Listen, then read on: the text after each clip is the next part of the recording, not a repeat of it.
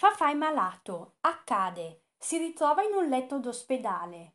Non è solo, la mamma si è assentata solo un momento e lui inizia a parlare con il suo vicino di letto. È un ragazzo giovane che lavorava in campagna. Subito i due diventano amici, insieme parlano, si divertono e a volte fanno spuntini. Giocano con la palla tra un letto e l'altro e un giorno inventano il gioco della mappa. Ognuno deve disegnare una città e poi la confrontano per vedere le cose diverse ma belle che hanno disegnato. Fafà inizia e disegna la città di Parigi. Disegna la Tour Eiffel e nascosto nel fiume c'è un tesoro da scoprire.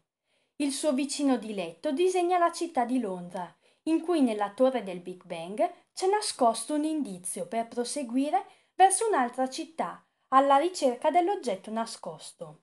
In ogni città c'è un oggetto misterioso. L'indizio del Big Bang porta in Sicilia, nella Valle dei Templi, dove all'interno di una statua trova una chiave rosa con inciso l'immagine di un nurago. Arrivano in Sardegna e sulla spiaggia era stato costruito con la sabbia uno strano castello di forma ottagonale. Fafà e il suo amico, insospettiti, cominciano a scavare vicino al castello di sabbia quando a un certo punto trovano una scatolina che contiene la bussola e poi un foglietto misterioso con scritto Se la bussola bene userai, in un'altra città arriverai. Fafà afferra la bussola che inizia a tremare.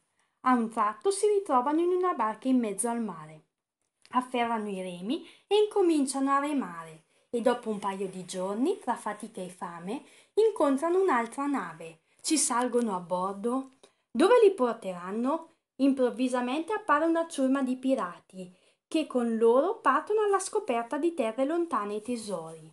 Dopo alcuni giorni di navigazione arrivano sull'isola sperduta, dove incontrano un gruppetto di piccoli indiani. Gli indiani erano buoni con Fafà, il suo amico e con la ciurma. Gli indiani raccontano che in passato erano dei sudditi mandati dal re del regno, dall'altra parte dell'oceano, per sconfiggere il mostro marino dell'isola che li tormentava da tempo, ma non ce l'hanno ancora fatta. Fafà scopre che anche in ospedale può incontrare nuovi amici e scoprire nuovi giochi e scoprire le tante città giuste del mondo, in cui la regola principale è stare vicini gli uni agli altri aiuta a non avere paura.